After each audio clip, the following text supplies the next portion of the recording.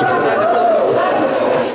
Ольга выступает в последней паре, а это значит, есть время дать напутствие младшим и размяться. Координация и устойчивость – основа успешного спарринга, уверена саватистка. Самое трудное выступление было вот в декабре у меня.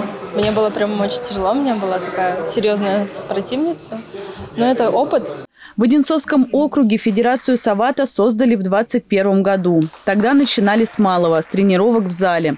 В 2022 провели первый чемпионат. В этом году на первенстве уже выступили больше 90 участников со всей области. Подготовка проходит стандартно, как и в других э, спортивных единоборствах. Есть, конечно, свои отличия, своя специфика.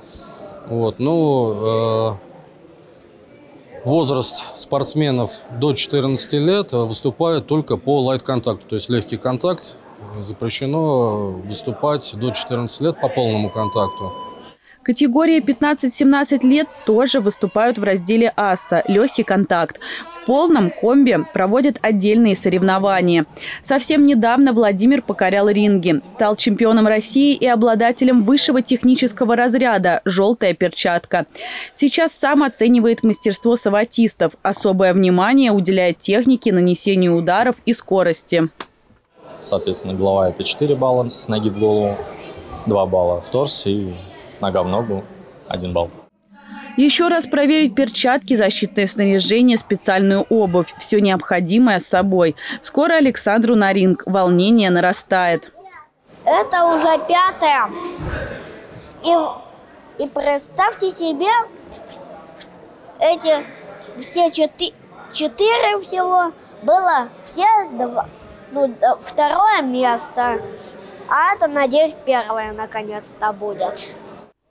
Французским единоборством Матвей занимается шестой год, состоит в сборной области. Выступать на первенстве уже не страшно. В этом году готовится к чемпионату России, который пройдет в апреле.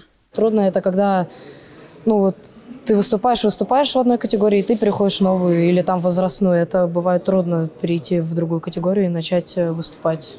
Потому что новые соперники, новые веса.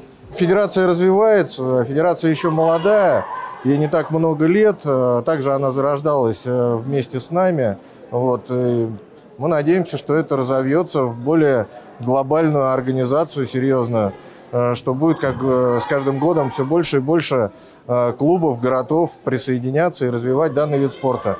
В этот раз на первенстве выступили 25 спортсменов из округа. Почти половина завоевала золотые медали. Екатерина Крамер, Олег Мещерский, телекомпания «Одинцова».